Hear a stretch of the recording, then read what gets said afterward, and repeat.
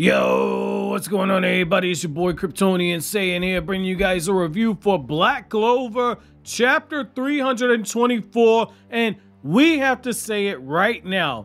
Lucifero has been put on notice. The Black Bulls, they coming for him. And matter of fact, Yami is getting on his ass right now.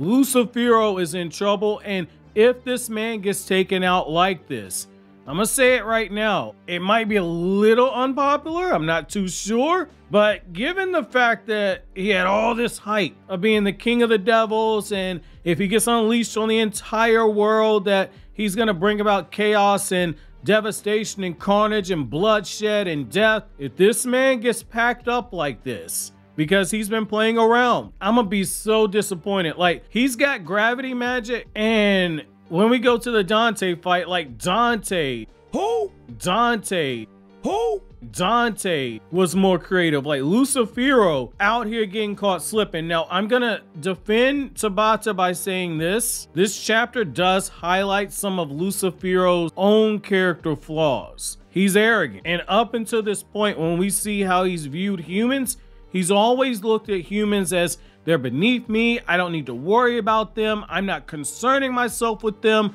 I will do as I please. They can do all these magic attacks and combos. They can do all their sneak attacks. None of this is going to matter to me because I'm Lucifero. I have big dick energy. It is what it is. However, in this chapter right here, it's just hammer after hammer after hammer that is falling on this man. And I like how Tabata opens it up with Zora taking all of the magic, putting it into his right fist, and then sending it back double. And what I like about that is that Lucifero right now is at the stage where he should be going, oh shit. And what I like about that is that you see is with Zora, the damage that is being done, the shockwaves, you see as Lucifero's own fist is smoking. Just as Lucifero is realizing what's happening, that's when Yami and Nacht show up and both of them are ready to go. And what I like right here is that you get this montage where Yami is talking to Nacht and he's saying like, hey, the Black Bulls, you've seen them yourself. They're pretty fun to watch, weren't they? And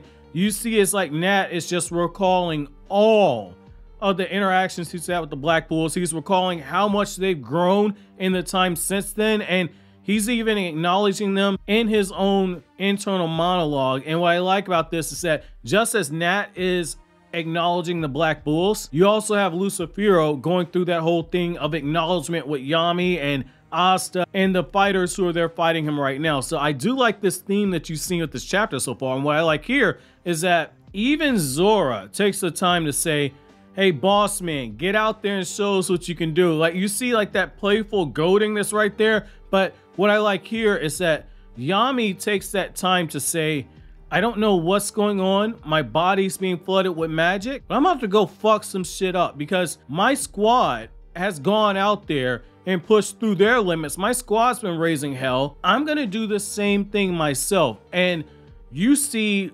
probably the most insane set of double page spreads that I've seen from Tabata in a long time. You see is how right when Yami says, hey, Vice Captain, you're going to be fighting with me, and they do the shadow magic mixed with the dark magic for the mana zone, you get the creation of the kids playground. That page spread is so beautiful. Like those four panels that make up those two pages and just the way that you see the shadows and you see like the background you see some of the flames through there you see yami and nacht's whole demeanor begin to change. Their faces look a little bit more deformed. You see as lucifero has the old shit expression on. You see as all the shadows are manifesting. I love that you see that. And then the next thing you see on the next page is this super insane page spread where you see nacht on one side, and then on the other side, you see his Lucifero. Now he's got the old shit expression on his face, and you got Yami coming up from above. And the way that the panels are drawn, like you got the one on the far left where the man's rearing back with the sword, and you got the attention to detail with the veins and the sweat on the man's arms, and then Right underneath that, where his leg is at, you shot a Yami as he's beginning to swing that sword down, and you just see is the fact that darkness is working hand in hand with Shadows, and Lucifero right now is in trouble. And even the Supreme Devil that's watching this, he's like, whoa, whoa, whoa. He's taking interest. And Lucifero looks down at his arm. He sees the damage that has been done and he starts getting irritated. And right there, the monologue goes through his head and he's recalling everything. It's like, it's actually possible for humans to kill me. Huh? What? And what I like about that is that the last thing he thinks about is Asta with the anti-magic sword. And this man says, I acknowledge you. And as big of a Roman Reigns fan as I am, that that that's the first thing went to my head. Like Romans like acknowledge me. Yami will be Roman Reigns in this case. However, the fact is is that Lucifero, it went from they're peasants, they're ants, I'm gonna stomp a mud hole in them. I'm gonna walk it dry. It is what it is. It went from that to wait a second, I can't take them lightly to okay, they can actually fuck around and kill me. And right here, he's basically saying, I'm done fucking around with you. And he's talking that talk right now. I'm gonna say that. He's talking that talk. He's like, look, I'm going to utterly destroy you. I'm gonna kill your parents, your siblings, your friends, your neighbors, all humanity. I'm gonna annihilate everybody. Stop the cap. Stop the cap right now. Stop the cap. No bullshit, bro. And I'm gonna use all the power that I now possess. And I like the way that Yami is just drawn like, yo, this man's finally gonna get serious. In one case, it looks like Yami's like, okay, like this is gonna be a little harder than I thought, but hey, it is what it is. However, you get Asta and Yuno, and you can tell the two of them, like they got that shit eating grin on their face. And it looks like for them, it's one of those things where they're like, hold on, the king of the devils just acknowledged us. Like, we want to be the wizard king. And the king of the devils acknowledged us. When we kick his ass, I'm going to take his head and drop that shit down on the Clover King's desk and say, bitch, I'm wizard king now. Like, I love what we see right here in this double page spread that ends on the very back where you have Nacht and you have Yami daring down Lucifero. Yami is working in combination with Nacht as well as William Vangeance because Vangeance did put all of his magic energy into that World Tree Sword for Yami.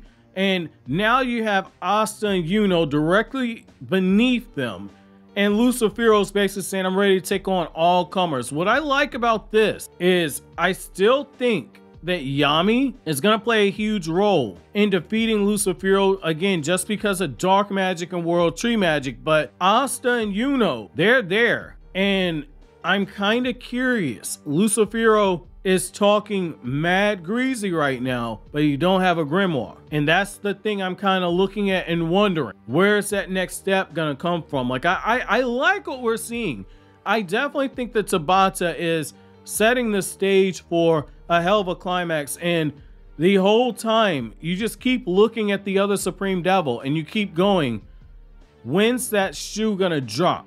When is he gonna make his move? Because he almost comes across like somebody that isn't gonna step in on the side of Lucifero, but he's not gonna step in on the side of the humans. He's more so a spectator, but at the same time, because we don't know where his allegiance lies, we don't know who he's gonna backstab. And while you have Nacht in his Devil Union mode, we still have not seen Asta and Liebe go into Devil Union mode together since Yami has come back from the dead, basically. So I'm kind of curious.